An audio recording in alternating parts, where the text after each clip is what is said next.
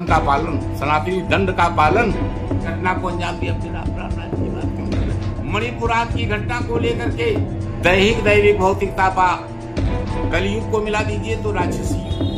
अग्नि, पुत्र, वधु सुतनारी राक्षसों से ज़्यादा भिन्न। कोई मर्यादा नहीं, किसी की कोई इज़्ज़त नहीं। एक संत की हैसियत से ये कहना चाहता हूँ आदमी जो प्राण दंड का नियम है, वो लागू करा दिया। हर सीधा बगदा प्राणदंड लागू कर दो भैया। छोड़ो ना ऐसे दरिंदों को, छुट्टा साड़ों को। ऐसे चमगादड़ों को उल्टा लटका देना चाहिए। हैरान मत होइए मामा तो देश बाराबंकी ज़िले का धनोखा चक्रतीर्थ के पीठाधीश्वर। रंजीत बास वास्तव बहुत भैया गुस्सा गए आग बबूला हो गए। जैसे इनको भैया पता चला कि मणिपुर में इस प्रकार की वारदात हो गई है। सोच था भैया दो लड़कियों को, एक बगदा चालीस साल की थी, एक बगदा बीस साल की, उनको बगदा नंगर करके बीस सड़क पर दौड़ाया गया। उसके साथ जिस प्रकार की हैवानियत की गई, हम शब्दों से बयान नहीं कर सकते। बहुत क्रोध आ रहा था, हमको जब क्रोध आ रहा था तो सोचो, रंजीत बास वास्तव कितना गुस्सा गए कहने लगे कि तो भैया राक्षसों से भी बदतर है। आज राक्षस भी संसार हो गए होंगे। तो निष्ठुरों का अवतार थे बहुत गुस्सा गए थे भैया। और रामायण की चौपाई भी सुना रहे थे। राजस्थान मणिपुर में जिस प्रकार की इसमें घटनाएँ हुई हैं देश संसार हो रहा है। कई नेताओं के बयान सामने है लेकिन अभी इस पर किसी संत का बयान है। आप बाराबंकी के धनोखा चक्रतीर्थ के पीठाधीश्वर हैं। एक संत के नज़रिए से इस पर आप क्या कहेंगे? ये युग का प्रभाव है। युग कौन सा? कलयुग। अर्थ कलि का अर्थ अवसर या इच्छा, अवसर वैधता या अपनी इच्छा से कोई कार्य कर देना। कलयुग को मिला दीजिए तो राक्षसी युग। इसके पूर्व के युगों में अगर हम जाते हैं तो ये जो कुछ आज हो रहा है, ये आपको देखने को नहीं मिलेगा। राक्षस उस समय भी थे। लेकिन आज ये राक्षसी प्रवृत्तियाँ जो आई हैं, ये उन राक्षसों से ज़्यादा भिन्न हैं और ज़्यादा क्रूर हैं। हमारे यहाँ युगों में सतयुग आता है। सत अर्थात सत्य। सत्य था तो धर्म था। त्रेता, ये तीन पर आता है। धर्म, अधर्म और धर्म का साथ देने के लिए ऋषि मुनियों का अवतरण। रावण के वध करने के लिए ऋषि मुनियों ने धर्माज्ञा जा, जा, धर्माज्ञा जारी की थी कि हे राम तुम रावण का वध करो। और धर्म की विजय पताका लहराई थी। वो ऋषि मुनियों का युग था। वशिष्ठ विश्वामित्र श्रृंगी ऋषि अगस्त ऋषि पुलस्त ऋषि वाल्मीकि ऋषि उसके बाद द्वापर। द्वापर में धर्म और धर्म दो पर आ गया युग। और जब धर्म कमज़ोर पड़ा तो भगवान श्री कृष्ण खुद अवतरित हुए। और अधर्म के विनाश का उन्होंने आदेश किया अर्जुन को जो कि शस्त्र रख चुके थे। अर्जुन ने उनके आदेश का पालन करते हुए दुष्ट कौरवों का विनाश किया, उसके समर्थकों का विनाश किया है। कलयुग में। कलयुग में भी हमारे धर्म का पराभव है ये। ये धर्म का पराभव है। आज का राजतंत्र हमारे धर्म के अधीन नहीं रह गया, धर्माचार्यों के अधीन नहीं रह गया है। ये इस कानून और संविधान के अधीन चल रहा है। मैं एक रामायण का उदाहरण आपको देना चाहता हूँ।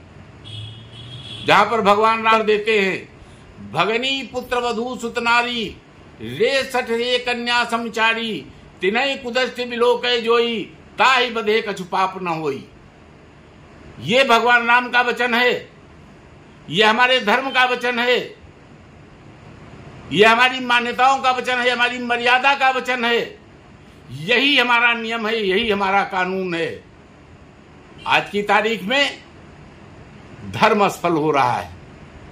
आपने एक संत के रूप में मेरा मुझसे सवाल किया है। आज आप बताइए। आज आप बताइए। सनातनी धर्म का पालन सनातनी दंड का पालन आज किया जा रहा है। तो उसको रोका कैसे जाए इस तरह की घटनाओं को? देखिए रोकने का एक ही उपाय है। ये ईश्वर पर अनास्था रखने वाले लोग, ये राक्षसी प्रवृत्ति के लोग, आज ये देश शर्मसार नहीं है, आज ये पशु शर्मसार है। आज वो राक्षस शर्मसार है, जो नाबालिग की पहचान कर लेते थे, बहु, बहन बेटी की पहचान कर लेते थे। सूर प्रणखा के अपमान का बदला रावण ने लिया था। ये बहन की पहचान थी, ये बहन की पहचान थी। आज वो राक्षस क्या सोच रहे होंगे? ये कलयुग आया हुआ है। जहाँ पर किसी की कोई मर्यादा नहीं, किसी की कोई इज़्ज़त नहीं। न बहन है, न बेटी है। न नारी है, न नारी का सम्मान है। द्रौपदी रंग करने का प्रयास हुआ था तो महाभारत हो गया था। मैं एक संत की हैसियत से यह कहना चाहता हूँ कि हमारी राजा लोग और मैं अपने धर्माचार्यों से अपील करना चाहता हूँ ये धर्माज्ञा जारी करें धर्म संसद बुलावें और इस तरह के अन्यायों को हमारे सनातनी जो प्राण दंड का नियम है वो लागू करा दिया जाए। आप तो धर्म को लेकर के बात कर रहे हैं। यहाँ तो राम राज वाली सरकार है खासतौर से यूपी में। इस पर क्या कहेंगे आप? राम राज्य की कुछ विशेषताएँ हैं अपनी। महात्मा तुलसीदास की रामचरित मानस में जो वर्णित है, दैहिक, दैविक भौतिकता पा राम, राज, दुख का होना बहता सब नर करें, परस्पर प्रीति, चलें धर्म सदा नीति नहीं दरिद्र को दुखी, न दीना, नहीं कोई अबुध, न मैं सबनर करें, परस्पर प्रीति की बात को अलग करके। नहीं दरिद्र, कोई दरिद्र नहीं था आज गरीबों को राशन देने की ज़रूरत पड़ रही है। को दुखी, कोई दुखी नहीं था। आज जनता सड़कों पर जा रही। दीना कोई दीनहीन नहीं था। आज कानून व्यवस्था पर सवाल उठाए जा रहे हैं। नहीं को अबुध। सब बुद्धिमान थे। कोई अनपढ़ शिक्षित नहीं था। आज हमें सर्व शिक्षा की ज़रूरत पड़ रही है, विद्यालयों की ज़रूरत पड़ रही है, विद्यालयों में सुधार कायाकल्प की ज़रूरत पड़ रही है। नहीं लक्षणहीना और अंतिम, जहाँ से आपका सवाल शुरू हो रहा है मणिपुरात की घटना को लेकर के, ये लक्षणहीनता है कि नहीं है? ये सुलक्षणी है कि कुलक्षणी है? जिन लोगों ने इस घटना को अंजाम दिया, फिर आप रामराज की बात क्यों कर रहे हैं?